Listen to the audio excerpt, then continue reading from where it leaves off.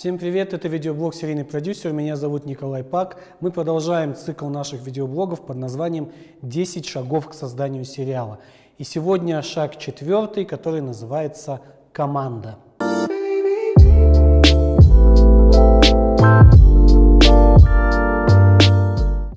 Итак, про команду.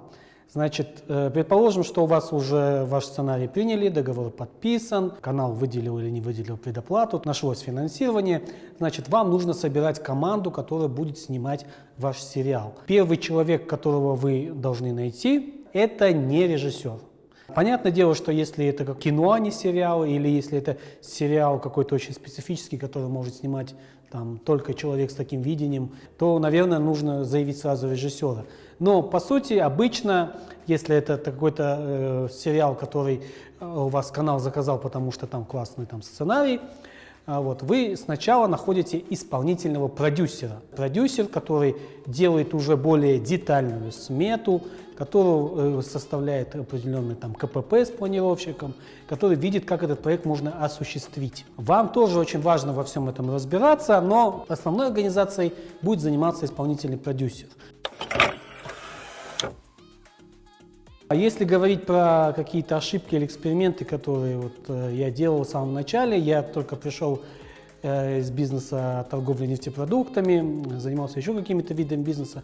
Вот, и только пришел, и я, знаете, такой в бизнесе есть оптимизация расходов. Хотел ввести какие-то новаторские вещи. И вот одно из таких э, э, нововведений я решил снимать без исполнительного продюсера. Но мне повезло, потому что наш второй режиссер была по образованию тоже продюсер, имел какой-то опыт. В общем, но исполнительным продюсером, в общем, я назначил себя. С одной стороны, было хорошо, потому что э, как предприниматель должен в каждом э, бизнесе ну, вникать, понимать, как бы, э, ну, из чего состоит этот бизнес. И в этом плане этот опыт мне очень пригодился. С другой стороны, я сделал несколько ошибок, подошел к этому так, что э, генеральный продюсер совмещает все функции исполнительного продюсера, кроме этого я еще не имел опыта. Поэтому некоторые конфликты в команде, некоторые конфликты, которые я сам спровоцировал, все равно была какая-то цена вот у этого решения.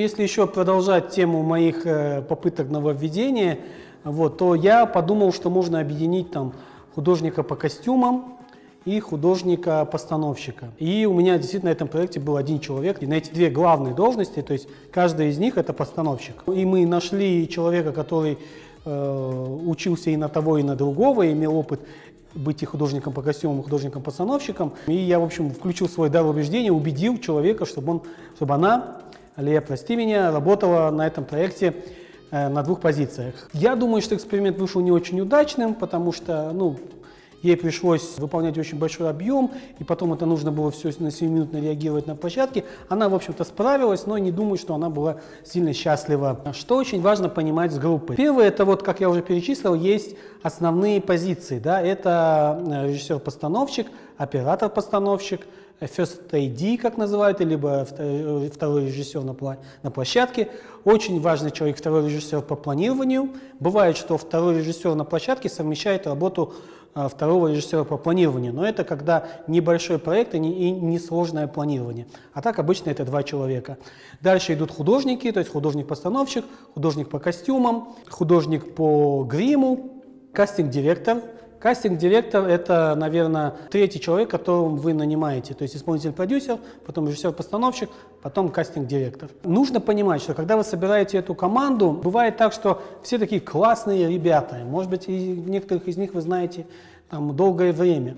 Но надо понимать, что это команда, которой вы будете работать достаточно долгий период, ну там как минимум обычно там месяц, да. Это довольно-таки такое физически это непростое испытание. И понятное дело, что группа может быть веселой, она может быть уже профессиональной, уже привыкла к такому ритму, но в любом случае вы должны быть готовы к тому, что эмоции у людей бывают разные. Вы должны это учитывать, что это э, долгий поход. У вас должна быть э, выбранная, правильно выбранная стратегия в том плане, что правильно выбранная дистанция с людьми. Нельзя сильно от них отдаляться, э, с одной стороны, потому что тогда будет это вот этот вот ген-продюсер, и никто не видит, вечно там они там грубо говоря, денег наберут, а нам оставляет копейки, он даже не знает, что происходит на площадке и так далее. Да? С другой стороны, нельзя понебратствовать, потому что, опять-таки, в долгую это может э, каждый постановщик, каждый человек подходит со своими личными просьбами. Нужно понимать, что эмоциональный фон – это тяжелый труд, и поэтому ну, реакция у людей может быть разная. Вот к этому надо быть готовым. Почему все это нужно, а, на все это нужно обращать внимание, да, на состояние команды и как с ними общаться? Потому что съемочный период идет очень гладко, то, в общем-то, ген-ген-продюсер, он даже там не нужен, да, он не появляется там и так далее.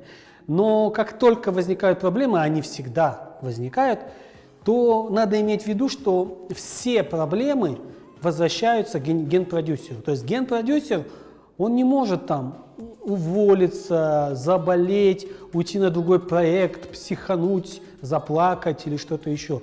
Этот проект останется с ген-продюсером, ну, в отличие от остальных участников группы, которым, конечно, в принципе, тоже плохо, если они уходят, но не настолько как бы важно это, да, все-таки. Поэтому вот это нужно всегда держать в голове. Эти люди классно, если они, если они дойдут с вами до конца, но, возможно, кого-то из них вам придется уволить. И поэтому эту дистанцию нужно держать правильно. Еще один фактор, который вам необходимо учитывать, когда проходят команды читки, да, с постановщиками всегда проходят там читки сценария. Э, у нас есть такая, как сказать, парадигма, что у нас обычно съемочная группа, ей всегда не нравится сценарий. А это я называю у нас в нашем как бы, кинопроизводстве такая у нас игра в гениев, скажем так. В общем, в воздухе висит такая парадигма – ну, в общем-то, у нас все режиссеры-постановщики, они гении. Операторы-постановщики, они тоже все гениальные. И художники, и все, в общем-то, все гениальные, и они бы все сняли бы классное, шедевральное казахское кино, а, если бы не сценаристы. Вот ваша роль в этом процессе – защищать сценарий. Ну, ваша роль вначале э, сделать так, чтобы сценарий был хорошо написан – но как бы он ни был написан, на этапе э, препродакшена и во время съемочного периода ваша задача защищать сценарий. Почему? Потому что если э, как бы вы встанете на, на их сторону, да, сценарий плохой, ну если его писали не вы, то э, завтра у вас оператор-постановщик что-то забудет снять, либо снимет как-то не так, потому что сценарий плохой. Художник-постановщик забудет что-то, потому что он ну, и так запутался во всей этом хаосе, в этом бардаке, который в этом сценарии, где все нелогично и так далее. И так каждый. Поэтому сценарий нужно защищать вам, больше никто его не защитит. Ну и кроме этого, конечно, как всегда, история о том, что режиссеру-постановщику сразу никогда не нравится сценарий, даже если потом режиссер-постановщик может получать за это награды, ну, естественно, идет разговор о том, что вот в начале сценарий был не очень, а, а потом как бы мы его спасли. И нужно понимать, что группа, несмотря на то, что они давно в профессии, они знают кино изнутри и так далее, группа это далеко не зритель.